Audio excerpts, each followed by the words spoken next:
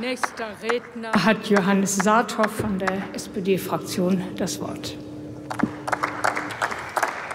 Sehr geehrte Frau Präsidentin, liebe Kolleginnen und Kollegen, lieber Ralf Lenkert, also ich weiß nicht, wo das bei uns im Gesetzentwurf stehen soll, dass Besitzer von Smartphones künftig die Daten nicht bekommen sollen. Selbstverständlich bekommen sie diese Daten, das ist überhaupt gar keine Frage, und sie bekommen sie auch online, denn sie sind Herr ihrer Daten und können darüber nach diesem Gesetz entscheiden, wer die Daten wann bekommen soll.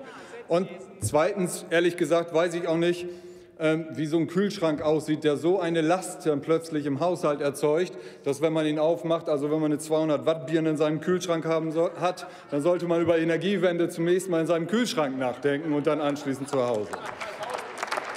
Worum geht es, meine Damen und Herren? Worum geht es? Es geht darum, dass in der Energiewende grundlegende Veränderungen entstehen, nicht nur in der Produktion, sondern in der ganzen Welt der Energiewende, also auch bei den Nutzern und auch beim Verbraucherverhalten. Früher hatten wir die Situation, dass man die Produktionskurve der Verbrauchskurve angepasst hat.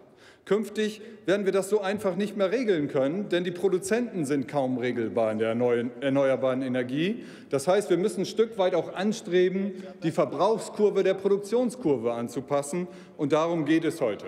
Ich will an dieser Stelle nur andeuten, dass wir im letzten Jahr allein Redispatch-Kosten hatten von einer Milliarde Euro. Und die haben etwas damit zu tun, dass wir eben nicht die Verbrauchskurve auch der Produktionskurve anpassen können. Und damit wir das können, dafür reicht dieser 70 Jahre alte, über 70 Jahre alte Ferraris-Zähler, der zu Hause hängt, längst nicht mehr aus. Dafür brauchen wir Smart Meter. Und zunächst geht es an die Großen, also an die Low-Hanging Fruits ab 6.000 Kilowattstunden, damit jemand versteht, was, wer ist da eigentlich von betroffen oder nicht. Ein durchschnittlicher Haushalt hat 3.500 Kilowattstunden. Das gilt übrigens auch bei Mietern in der Frage, denn meines Wissens gehört der Zähler zur Wohnung und nicht zum Haus insgesamt dazu. Aber darüber reden wir noch mal. Darüber reden wir noch mal miteinander. Es geht um Daten und es geht um Datenschutz. Und wie man in Ostfriesland sagt, Open Holten Ambold kannst du kein Isen schaben. Also mit anderen Worten, man braucht ein vernünftiges Werkzeug, um hier vorzugehen. Drei Jahre lang hat es eine Projektierung des Datenschutzkonzeptes gegeben mit dem BSI zusammen. Lange Zeit, finde ich auch. Viele in der Branche finden viel zu lange. Aber das Konzept, das jetzt vorliegt, ist einmalig in Europa. Und die Kritik der Verbraucherschützer, die wir gerade in diesen Tagen in den Medien äh, auch lesen können, die ist für mich völlig unverständlich. Denn grob skizziert wird Folgendes geregelt. Die Daten bleiben generell beim Verbraucher. Er entscheidet, wer diese Daten bekommt.